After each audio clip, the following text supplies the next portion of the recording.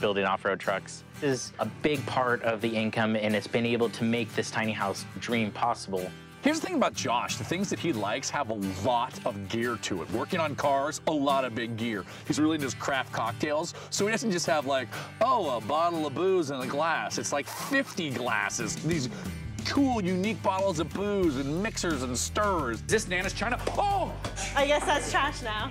I'm really good at paring down. I just break the stuff and you can't take it with you. And they like to entertain, so they have a lot of friends over too. So we need space for all their stuff and for all their friends. And this is our space for storage. I'll have these doors on the back, and all of this will be area for tools. So we knew we were gonna do a deck, and we figured, okay, well, we can just put stuff underneath the deck. We did that before in, in Tennessee. But the deck wasn't high enough off the ground, so Zack came up with a great solution, and that was to build in some seats, which is really built-in storage. Ah, Zack. You know, we were able to get a bunch of storage built in. cool. Usually, if it doesn't fit in the house, look, it doesn't get to come.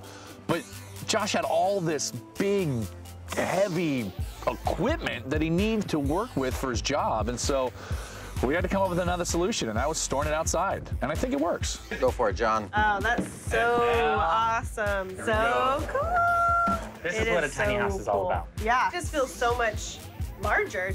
Every time we have a big challenge on the show, it's actually a big opportunity for us. And I think Zack, in particular, nailed it with the bar that opened up, the accordion window, and the huge deck outside. These are things that we had to overcome, and I think we did in a really cool way, a unique way. We turned out an awesome house. I'm really proud of this one.